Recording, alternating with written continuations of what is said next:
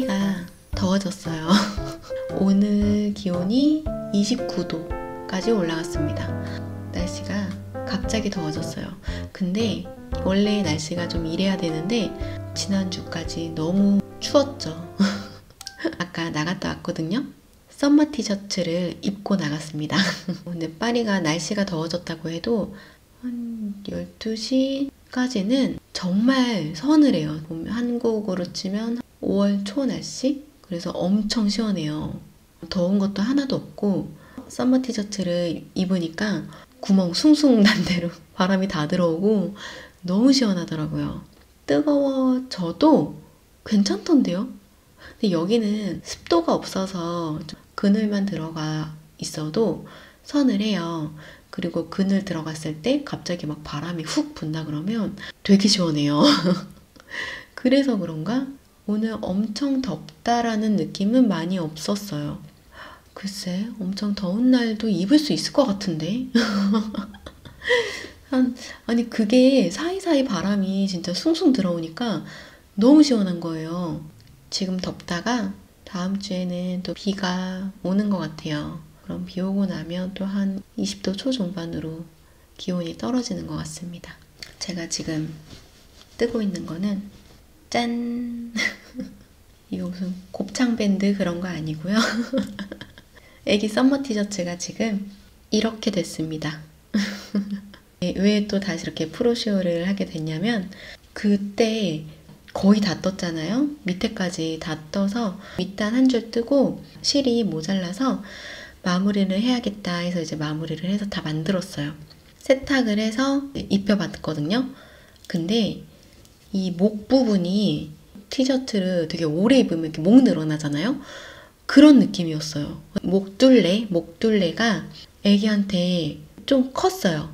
근데 제가 그게 크게 한 이유가 애기는 애기들은 머리가 크니까 옷이 안 들어갈까봐 그 둘레를 16cm로 잡았던 거예요. 그래서 머리는 들어가는데 이게 실이 탄력이 없다 보니까 이렇게 조여지지가 않는 거예요. 그래서 제가 그 목 부분도 덮어씌워 코막음 이거 아니고 고무단을 떠가지고 돗바늘 마무리로 한 거거든요. 근데도 신축성이 너무 없더라고요. 좀 세탁하면 괜찮을까 했는데 세탁해도 그게 잡아지지가 않아서 목이 너무 헤벌레한 거예요. 그리고 또 제가 그 아기 옷을 3살 사이즈 옷에 맞춰서 뜨고 있었거든요. 근데 이 summer 티셔츠는 이 어깨 부분이 어깨에 맞게 딱 떨어져야 예쁠 것 같은데 제가 3살 옷에 뜨고 있다 보니까 3살 옷이 아기한테 살짝 커요. 그래서 그 어깨 부분이 좀 이렇게 내려온 거예요. 그러니까 제가 처음부터 계산을 잘못했던 거죠. 어, 일단 품도 가마코 하기 전까지도 품이 크게 나와서 가마코를 안 했어요. 제 썸머 티셔츠도 가마코를 한 코만 했어요. 근데 저는 어른 옷이고 일단 품이 넉넉하고 커서 그런지 저는 입어도 그렇게 불편한 게 없거든요. 근데 애기 옷은 가마코를 안 하니까 애기가 입었을 때 이렇게 팔 좌우로 흔들고 이런 게 좀 되게 불편해 보이더라고요. 아, 이거 안 되겠다. 해서 얘를 풀렀습니다. 고민을 했어요. 이 썸머 티셔츠가 너무 예뻐가지고 어, 애기 것도 뜨고 싶은데 넥 부분을 어떻게 해야 될지를 모르겠더라고요. 그래서 막 고민을 하다가 생각이 하나 났어요. 뿌띠니트의 애기 원피스 뭐였지? 민들레 원피스인가? 그거를 뜬 적이 있었거든요. 그것도 이제 애기 옷이니까 거기는 목 이제 뒤쪽에 단추를 달아줘요. 그래서 그게 이제 생각이 나는 거예요. 얼굴이 통과될 수 있게 트임을 주고 단추를 이렇게 잠그는 거예요. 그런 방법이랑 summer 티셔츠의 saddle shoulder 이 방법이랑 어떻게 섞으면 어떻게 뭐라도 나오지 않을까 해서 다시 뜨고 있어요. 지금은 이만큼 떴어요. 뭔지 모르시겠죠? 여기가 뒷부분이 이렇게 됐어요. 그래서 여기 부분에 끝에 단추를 이렇게 잠그는 거예요. 여기 어깨를 해서 어깨 주름 넣고 있어요. 문제가 하나 있어요. 이거는 생각지 못했던 건데 단추를 다는 거를 이렇게 하려고 하다 보니까 앞판, 뒷판 코스를 똑같이 잡아서 만든 거거든요. 지금 여기가 이렇게 일자 지금 앞부분 목 부분이 여기가 일자예요. 이 둘레가 사각형이에요, 사각형. 그래서 옷을 입으면 목이 답답할 것 같죠? 코를 잡으면서 할 때는 몰랐는데 뜨다 보니까 어 이게 네모가 되겠네 싶은 거예요. 이 saddle shoulder를 하면서 이렇게 앞에를 하는 거를 아직 몰라가지고 그런 도안을 떠본 적도 없고 그래서 일단 이대로 한번 떠보고 있어요. 이렇게 해서 제가 생각한 대로 옷이 될까 좀 궁금해서 그냥 한번 떠보는 중입니다. 아 그리고 제가 지금 이거를 broken rib을 안 하고 메리아스 뜨기로 뜨고 있어요. 이 바늘 굵기로 이 실로 broken rib을 뜨니까 역시나 무늬가 큰 느낌이었거든요. 메리아스 뜨기가 낫겠다 해서 메리아스 뜨기로 뜨고 있습니다. 제가 원래 문어발을 못해요. 제 영상 보신 분들도 아시겠지만 하나 시작하면 그거 이제 끝까지 다 하고 그리고 또 하나 시작하고 또 끝까지 하고 저는 그렇게 하거든요. 이번에는 문어발을 해야겠더라고요. 얘만 붙잡고 있을 수는 없으니까 틈틈이 하려고 하는 거니까 제 summer 티셔츠 끝나면 아이보리 셔츠 그거 뜬다고 했었잖아요. 그래서 지금 요 실로 스와치를 뜨고 있습니다. 근데 이것도 사실 어제 저녁부터 뜬 거예요. 어제 저녁에 이제 뜨면서 세탁해놓고 자야지 이랬거든요. 근데 뜨다가 너무 피곤한 거예요. 그래가지고 아, 나 못해, 못해, 이러고. 그래서 아직도 완성이 안 됐어요. 이 실이 되게 고르지 못해요. 얇은 곳은 되게 진짜 끊어질 것처럼 얇고 두꺼운 부분은 또 이렇게 두껍고 실끼리 부딪히고 막 이러면 얘가 점점점 이렇게 두꺼워지는 것 같아요. 2주 전인가 3주 전인가 그때 영상에서 이 실을 받고 타레 실로 받았거든요. 그 타레를 감아서 쓰려면 물레가 필요한 거예요. 그래서 제가 그때 영상에다가 신랑한테 부탁한다고 제가 막 그렇게 적어 놨었어요. 근데 이 실이 한 볼이 600m나 돼요. 엄청 길어요. 바나님이 댓글을 달아주신 거예요. 바나님도 처음에 물레가 뭐 필요 있겠어? 해가지고 처음에 400m를 손으로 감으셨나 그랬대요. 진짜 400m 감는데도 영혼이 털리셨다 그랬거든요.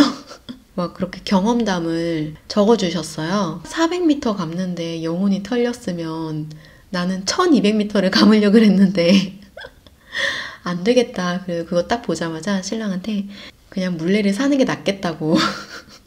그래서 저는 그걸 이제 신랑이랑 그냥 얘기하면서 감으려고 했었, 했었어요. 근데 그렇게 해도 엄청 오래 걸릴 것 같더라고요. 그러다 보면은 어느 순간 말도 안 할 것 같아가지고 아마 신랑이 물레 사자고 했을 것 같기도 하고 이제 그래서 이제 물레를 또 고르는데 아 제가 잘 모르잖아요 이런 거 어떤 거를 사야 될지 모르겠는 거예요. 이것저것 보는데 정보가 잘 없더라고요. 잘 없는 건지 제가 못 찾는 건지 못 찾는 거겠죠?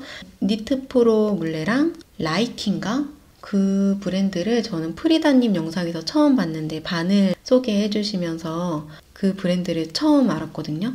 여기서 그 물레를 파는 거예요. 예뻤어요. 진한 색깔이 있었어요. 제가 요즘에 진한 나무색 그런 거에 빠져가지고. 그 Lykke 물레에 대한 평이 별로 없는 거예요. 못 찾겠는 거예요. 아, 어쩌지? 그러다가 제가 winder 갖고 있는 게 그것도 Knit Pro일 거예요. 그래서 그냥 같은 회사 거 사는 게 낫겠지 해서 그냥 Knit Pro를 샀어요. 저는 물레 다른 걸 써보지를 않았으니까 어떤지 모르겠는데 네, 괜찮은 것 같아요. 튼튼한 것 같고 나무도 부드럽고 생각보다 되게 크더라고요. 니트 프로는 그게 없더라고요. 가방, 물레 넣는 그 가방. 라이키 그 회사 물레는 가방이 있어요. 이런 재질로 된 기다란 가방이 있더라고요. 그래서 처음에는 그 가방이 있어서 어 이걸로 할까 이제 막 이랬는데 뭐가 좋은지 잘 모르겠어가지고 그냥 니트프로 샀어요. 그걸 이제 접으면 자꾸 그 물레 그 날개라 그래야 되나? 뭐 그게 자꾸 이렇게 벌어져서 머리끈으로 묶어놓고 그래서 얘를 열심히 감았어요. 몰래 이거 감을 때 먼지가 엄청 나더라고요. 이 실이 먼지가 많이 나는 실인가? 실이 많이 빠지나? 그리고 이 가방은 그 비쉬에비쉬에서 키트를 주문하고 실을 못 받았거든요. 실만 또 따로 다시 보내줬어요. 그러면서 미안했는지 이거 가방 하나 넣어줬더라고요.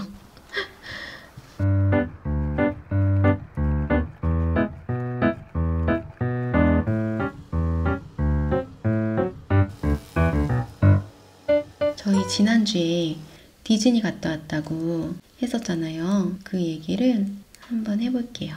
디즈니를 제가 이번에 두 번째 간 거거든요. 첫 번째는 결혼하고 첫 바캉스 때 신랑이랑 둘이 이제 간 거고 그리고 이번에 애기랑 같이 간 거예요. 저희 지인 중에 디즈니에서 일하시는 분이 계세요. 그분 덕분에 무료 입장을 해요. 직원 찬스. 그래서 디즈니 가격이 얼마인지 모르겠어요. 얼마? 얼마 하려나? 디즈니 가격이? 50 몇 유로 하나? 70 몇 유로인가? 처음에 이제 디즈니 딱 갔을 때 되게 놀랬거든요. 왜 놀랬냐면 작아서 놀랬어요. 저는 에버랜드 쪽에 살던 사람이라 에버랜드 사이즈가 일반적이었던 것 같아요.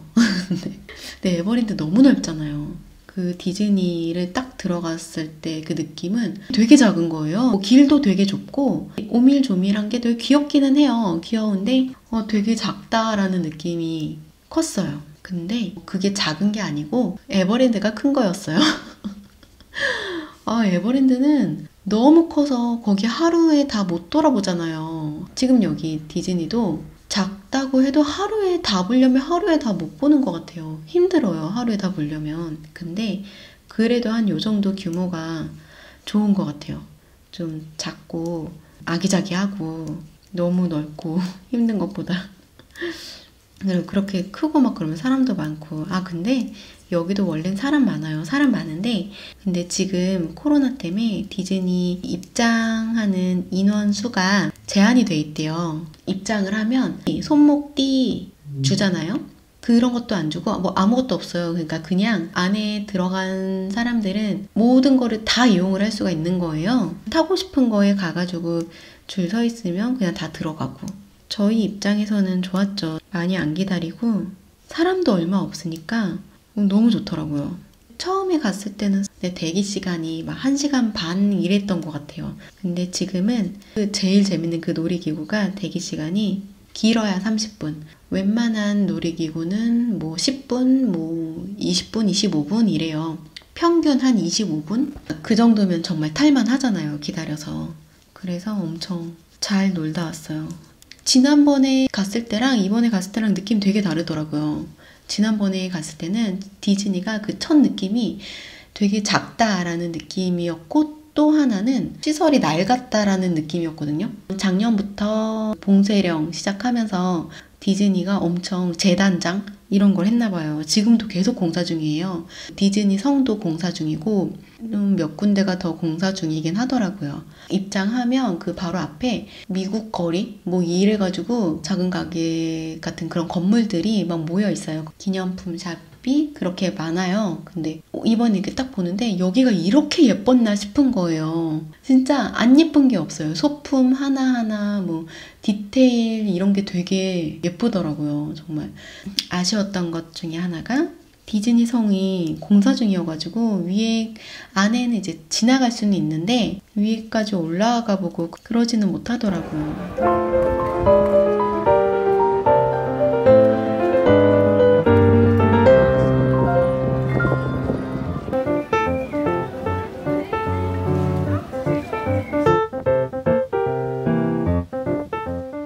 디즈니가 park 1이 있고 park 2가 있어요. 그러니까 park 1은 어, 옛날부터 있던 디즈니? 뭐, 뭐 그래야 되나? park 2가 나중에 만들어졌나 그럴 거예요. park 1은 어린이들 있는 가족 단위로 놀 수 있는 놀이기구들이 좀 많고 park 2는 무서운 놀이기구들이 많다 그랬어요. 그리고 park 2는 좀 영화 세트장 같은 그런 느낌이래요. 디즈니 성은 park 1에 있어요. 그래서 저희 처음에 갈 때도 디즈니 성은 봐야 하지 않겠냐면서 park 1로 간 거거든요. 근데 신랑은 또 몇 번 갔었어요, 디즈니를. 근데 저는 그때 처음 간 거니까 디즈니 성 봐야 한다고 park 1로 갔었죠. 그리고 이번에는 이제 애기랑도 놀고 할 거니까 또 park 1로 가고.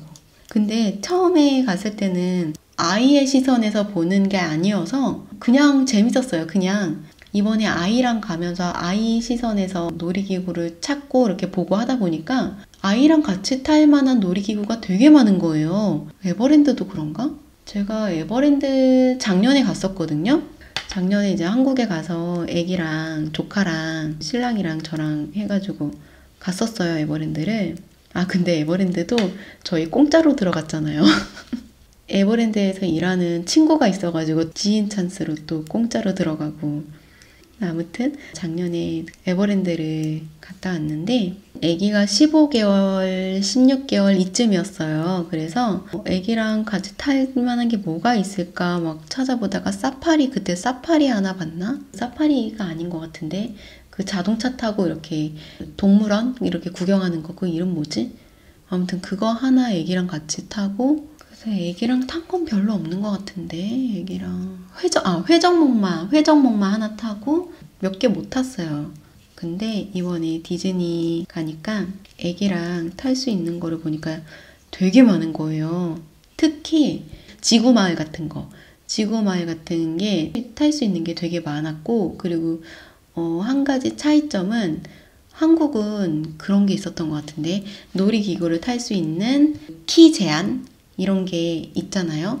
여기도 파리 자으당 다클리마타시온 거기도 이제 애기들 놀이기구가 있는데 거기도 보면은 키로 그렇게 제한을 둬요. 키 뭐 90cm, 80cm 이상 키로 제한을 두는데 여기 디즈니는 그런 표시가 하나도 없고 그냥 7살 이하인 아이들은 부모가 같이 동행하에 탈 수 있다고 그냥 이렇게만 나와 있어요. 그러니까 뭐 두 살도 탈 수 있고 뭐 더 어린 애들도 타는 것 같아요. 그렇게 돼 있더라고요, 거기는. 그래서 부모가 동행하면 그냥 다 탈 수 있는 거예요. 롤러코스터 이런 거 어른들 타는 거 이런 거 말고는 웬만한 애들 타는 거 이렇게 보면은 다 그렇게 써져 있어요. 그래서 꽤 많이 탔어요, 놀이기구를. 진짜 배 같은 것도 배도 지구마을도 타고 뭐 그냥 한 바퀴 삥 도는 기차도 있거든요. 근데 그 기차를 처음에 타서 그 놀이공원 뒤쪽에서 내릴 계획으로 그거를 먼저 탔어요. 근데 정류장이 몇 개가 있는데 안 서는 거예요. 하나도 다 안 서고 그냥 한 바퀴 뺑 돌고 다시 처음으로 와서 거기서 다시 내려가지고 처음부터 다시 봤네요. 아무튼 그런 것도 있었고 근데 그 기차도 너무 예뻐요. 그런 거요. 어떻게 그렇게 예쁘게 만들지? 아, 그리고 여기 진짜, 진짜 재밌는 게 있어요. 놀이기구만 보면, 그러니까 스릴? 스릴이 있거나 그런 건 아니에요. 근데 그게 뭐냐면, 잭스페로, 캐리비안 해적. 지구마을의 캐리비안 해적 버전?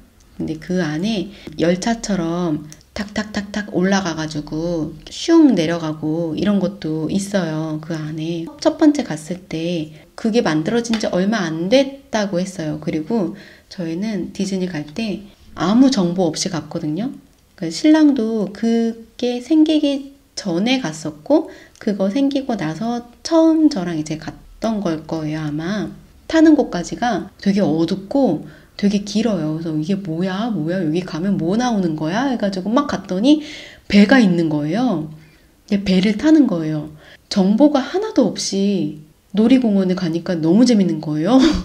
이건 뭘까? 이건 뭘까? 하면서 탔었거든요. 그 배를 타면서 그 안을 구경을 하는데 해적들 인형 움직이고 막 이러는데 그 인형 만들어 놓은 게 정말 디테일이 엄청나요. 와, 이거는 진짜 너무, 너무 똑같은데? 싶은 거예요. 그리고 너무 똑같기도 똑같은데 제일 감탄했던 게 그 마지막에 잭 스페로가 나와요. 이렇게 의자에 앉아 있어요. 의자에 앉아 있어서 술잔을 막 이렇게 돌려요. 그리고 뭐, 뭐 고개도 이렇게 이렇게 하고 이렇게 손으로 이렇게 움직이는 막 이런 장면이 있는데 그게 인형이거든요. 인형이에요. 인형인데 그냥 사람 같아요. 그 움직임 이렇게 손목 돌리고 막 이렇게 머리 이렇게 돌리고 하는 그런 움직임이 너무 자연스러워서 왜 지구 마을은 고개도 이렇게 딱깍 딱딱하고 이렇게 팔도 이렇게 딱딱하고 이렇게 움직이잖아요. 근데 그 잭스페로우는 정말 그냥 사람 사람이에요. 그 만든 걸 어떻게 만들었는지 처음에 보고서는 너무 감탄했거든요. 이렇게 술잔 잡고 이렇게 손목 움직이던 그 모습이 너무 생생하거든요.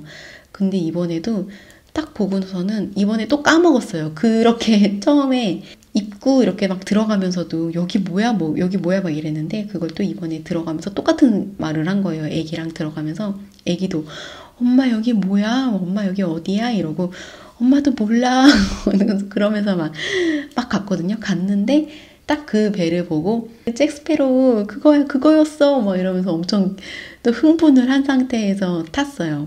너무 감탄을 했어요. 또 보면서 그게 그렇게 자연스러워요. 혹시 디즈니 가실 분들 있으시면 그거 꼭 타세요. 캐리비안 해적. 아, 근데 이게 정보 없이 가는 게 재밌는데. 저는 그래서 그 처음에 디즈니 갔을 때 아무것도 모르는 상태에서 간, 간 거다 보니까 재밌었어요. 진짜 너무 재밌었어요.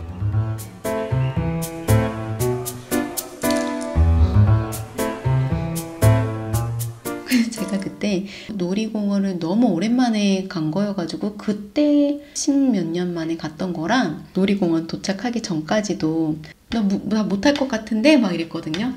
근데 이제 딱 가자마자 처음부터 인디아나 존스 그 롤러코스터가 있어요. 타기 직전까지도 이거 어떻게 타지 막 이랬는데 근데 막상 딱 타고 타니까 너무 재밌는 거예요. 그래서 막 그 거기서 다 뛰어다니면서 탔어요. 그리고 제일 거기서 아 재밌는 게 많네. 그 놀이공원에 재밌는 게 많네요. 생각해 보니까 제가 제일 재밌게 탔던 게 딱 두 개가 있는데 하나는 대기줄이 진짜 긴 거. 근데 그건 진짜 재밌어요. 그거는 아 이름 이름은 모르겠는데 연못 중심에 있는 놀이기구인데 걔가 꽤 길어요. 꽤 길고 그리고 재밌어요. 그거는 좀 길어서 재밌는 거고 또 다른 롤러코스터 이거 진짜 제가 두 번 탔거든요. 이거는 뭐 다른 롤러코스터들은 이렇게 처음에 이제 올라가는 부분이 이렇게 딱딱딱딱 하면서 천천히 올라가잖아요. 근데 얘는 처음 출발이 로켓 발사하는 것처럼 엄청 빨리 슝 위로 올라가요. 슝 발사해가지고 거기서부터 막 이렇게 뺑뺑 돌고 막 막 그 공간 자체가 어두워요. 테마가 우주인가 그래요. 어두운 곳에서 바로 발사되자마자 막 트위스트 이렇게 막 몇 번 꼬고 막 이러는데 뭐 그게 정 그게 되게 재밌어요. 그게 진짜 너무 재밌는 거예요. 그래서 디즈니가 10시인가 11시인가 이제 그때 디즈니 성에서 폭죽을 엄청 터뜨리거든요. 그 놀이기구 문 닫기 직전에 가, 가가지고 막 마지막으로 또 한 번 더 타고 폭죽 보러 가고 그랬거든요. 그때 처음에 갔을 때. 이번에 제가 그거 너무 재밌어 하니까 신랑이 애기 낮잠 자는 시간에 저보고 갔다 오라고 하더라고요. 그때 대기, 그 대기 시간이 30분인가 그랬어요. 걔도 인기 있는 놀이기구인 거예요. 근데 30분 동안 혼자 대기하고 있으려니 심심할 것 같아가지고 그냥 안 탄다고 그랬죠. 그냥 신랑이랑 놀고. 어린이들 있는 가족이 가면 정말 놀 게 많은 것 같아요. 그래서 이번에 가서 보니까 애기도 너무 좋아해가지고 연간회원증을 끊을까? 그런 생각도 들기는 했어요. 저희 집에서 갈 때 40분 걸리고 올 때는 30분인가? 걸렸어요. 안 막혔어요. 안 막히니까 정말 빨리 오더라고요. 그래서 정말 가깝기도 하고 더 커서 좀 더 잘 탈 수 있을 때 갈까. 아무튼 그건 그런 생각이 들었습니다. 애기한테 뭐가 제일 좋았냐고 그러니까 미니랑 사진 찍은 게 제일 좋았대요. 미니 직접 본 거.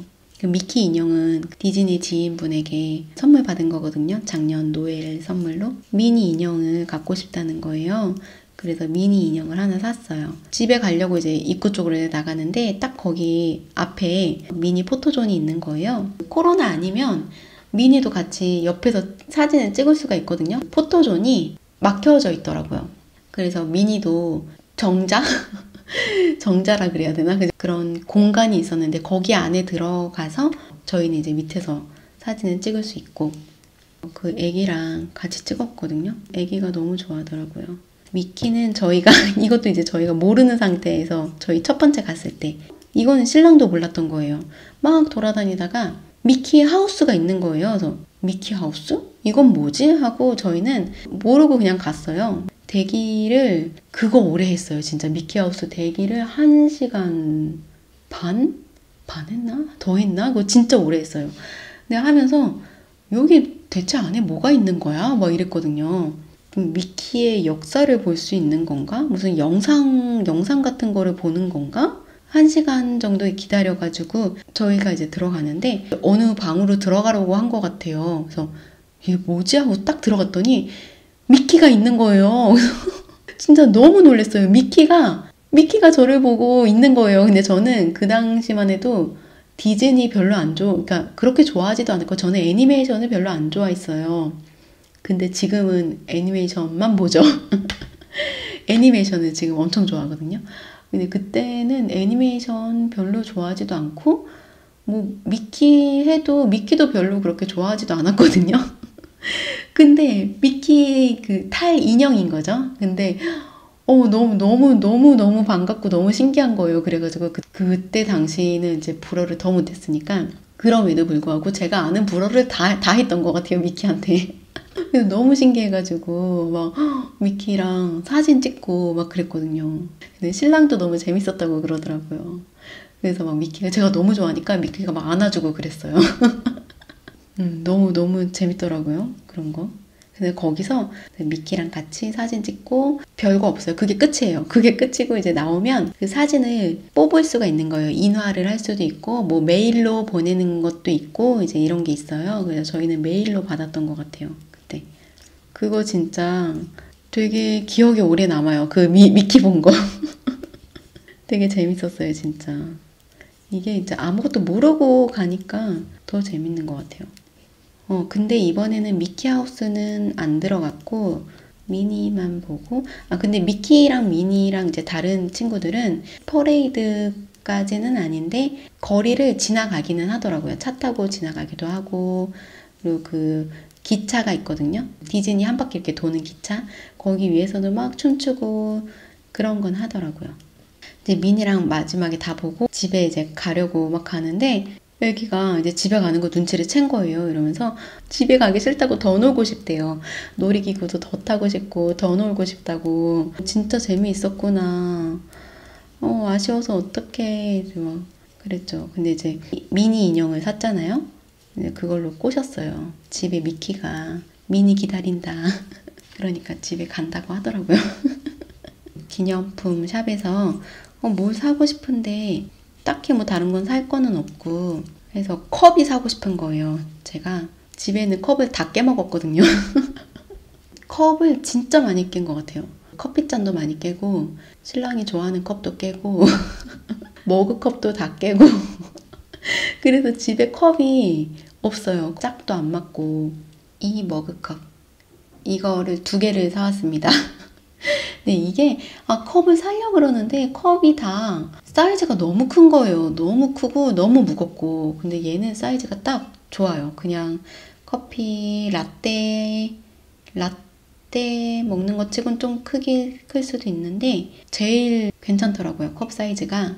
그리고 예쁘기도 하고 제일 예뻤어요. 그림도. 그래서 요거 두 개 사와서 요즘에는 맨날 여기에다가 아침마다 라떼 마시고 있어요.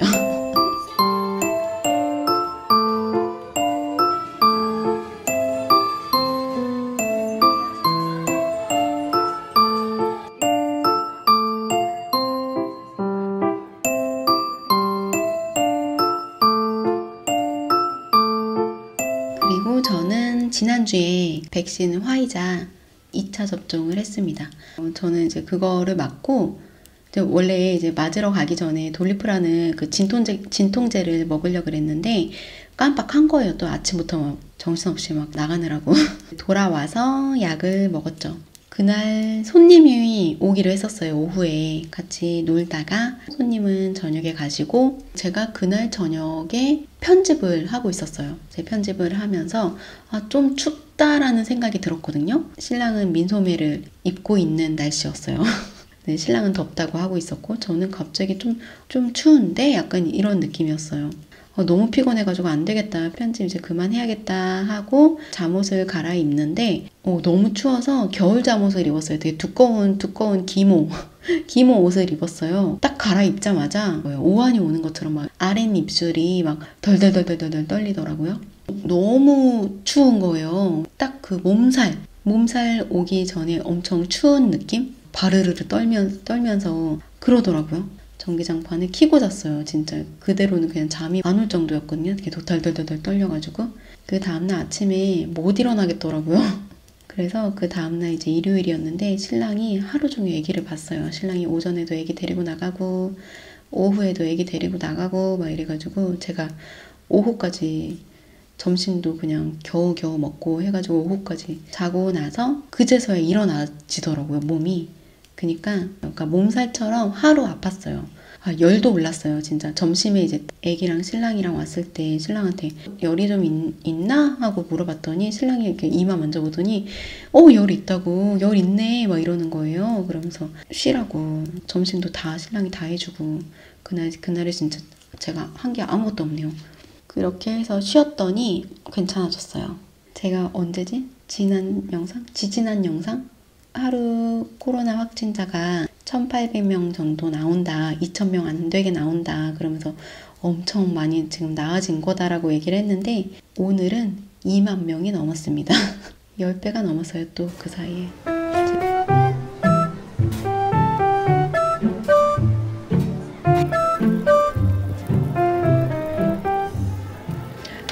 지난주에 너무 감동받은 일이 있었어요. 제가 그 만호님 영상을 보다가 좀 늦게 봤거든요. 제가 편집하고 막 이러느라고. 한 며칠 후에 본 것 같아요. 바로는 못 보고.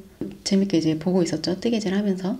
영상이 다 끝난 거예요. 그래서, 어, 벌써 영상 다 끝났네. 이러고서는 그거를 멈추지도 않, 멈추지 않고 그냥 놔둔 거죠. 뜨개질 하고 있었는데 갑자기 글씨가 있는 것 같은 거예요. 그래서 뭐지? 하고 딱 봤는데 저희 깻잎에게 메시지를 그렇게 주신 거예요. 너무 감동받아가지고 이게 뭐지 싶어가지고 다시 집중해서 이제 보기 시작한 거예요. 만호님께서 저희 깻잎을 엄청 안타까워 해주셨더라고요. 그러면서 잘 자라길 바라시는 마음에 정보를 알려주셨어요. 그 비료, 비료에 대해서. 제가 또 그런 것도 모르잖아요. 어떻게 물을 주는 게 좋을지 그런 것도 알려주셔가지고 정말 너무 감동받았지 뭐예요. 진짜 너무너무 기분이 좋아가지고 그날 저녁에 신랑한테 엄청 자랑했어요. 제 신랑이 만우님 알거든요. 신랑이 만호님도 알고 프리다님도 알고 그러니까 제가 이렇게 소통하는 분들이 많이 없는데 소통하는 분들을 다 안다고 보시면 돼요. 그래서 어쨌든 엄청 기분 좋은 일이 있었다면서 자랑을 막 했어요. 근데 제가 그 만호님 그 영상을 보면서 만호님이 저희의 문제점을 잘 알고 계셨던 것 같아요. 제가 막 그 영상을 듣는데 정말 옆에서 얘기를 해주는 것 같은 느낌이 드는 거예요. 보면서도 저 혼자 막 맞장구를 치고 있는 거예요. 막, 어, 맞아요, 맞아요. 그러면서, 아, 막 이러면서 제가 리액션을 박수까지 치면서 막 그렇게 영상을 봤어요. 되게 재밌더라고요. 되게 재밌고, 그래서 요즘에 프리다님이랑 만호님이랑 영상도 이렇게 주고받고 찍고 막 이러시는 것 같은데 그게 너무 재밌어 보이는 거예요. 그, 아, 이런 느낌인가 싶더라고요. 너무너무 감사했어요. 제가 한동안 또 화분에 애들이 좀 잘 안 자라니까 잘 안 보게 되더라고요. 근데 만호님 영상 보고 화분한테 바로 가가지고 화분 물도 주고 밑에 이제 창고가 있거든요. 창고에 가서 화분도 가져와가지고 해바라기도 더 넓은 곳에 심어주고 근데 해바라기 이렇게 뽑다가 뿌리가 완전 댕강 짤, 잘렸어요. 근데 그거 그대로 그냥 그렇게 심었는데 잘 자라려나? 아무튼 그리고 상추는 상추는 한, 한동안 시들었었는데 상추가 작은 애들은 죽었어요 완전 완전 걔네는 좀 죽었고 두 개, 세 개, 세 개가 남았어요 깻잎도 커진 거랑 몇 개 해가지고 땄어요 상추랑 깻잎이랑 따서 고기를 쌈을 싸서 먹었어요 지금은 깻잎이 큰 게 많이 없고 이제 좀 잎들이 다 작아요. 다다음 주에 손님이 올 예정이거든요. 그래서 한 2주 정도 더 키우면 그 깻잎들이 많이 커질 것 같아요. 그래서 그때 손님 올 때까지 좀 키워뒀다가 손, 손님들 오시면 그때 또 깻잎을 따서 먹어볼 생각입니다. 그래서 아무튼 그 만호님 너무너무 감사했어요 정말. 그래서 저희 깻잎이랑 상추가 다시 잘 자라고 있습니다. 덕분에. 비료는 지금 가지고 있는 비료가 있는데 그게 아직 정확히 어디에 좋은 비료인지는 잘 몰라요. 그 만호님 설명해 주신 거랑 다시 비교를 해봐야 돼요. 나중에 비료 파는 데 가서 한 번 더 보려고요. 저희 깻잎이들 근황은 그렇습니다.